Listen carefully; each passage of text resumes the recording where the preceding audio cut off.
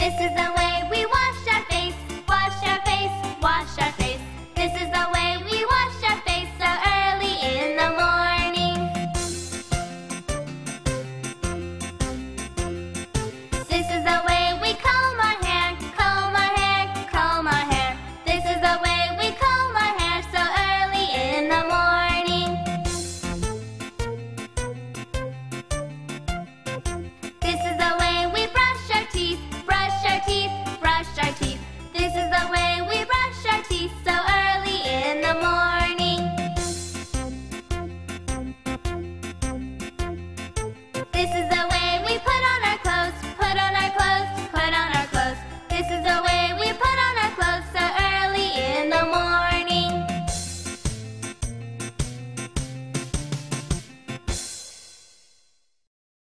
You're welcome to class, adorable. You're welcome to class.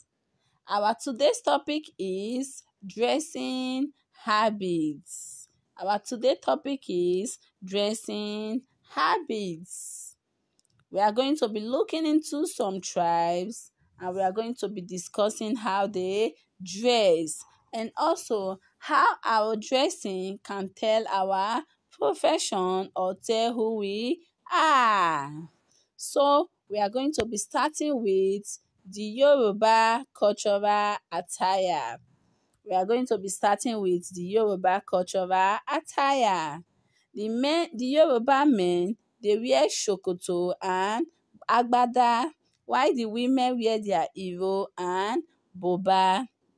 The Yoruba men wear their shokoto and agbada, while the women wear iro and boba. So going straight to the Fulani, the Fulani cultural attire is referred to as mudukari, which is worn by the women and it is a sleeveless crop top worn with wrapper. How many of you know wrapper? Very good. They usually wear their crop top with wrapper. While men, they usually put on their long sleeveless shirts with either short or long trouser to go. That is it about the Fulanis. So talking about the Igbo cultural attire. Talking about the Igbo cultural attire, the women wear their blouse, two wrapper and scarf. Then their jewelry to go. While the men, they put on their red cap. The men, they put on their red cap, their trouser not fitted, and their isiagu shirts. Isiagu, which means lion heads. Their material always have this lion head design. That is what you can easily use to recognize the Igbo ah, attire. So that is it as we go straight to identifying who we are by what we wear. So looking at your screen, can you tell me the profession of these persons? Yes, they are doctors.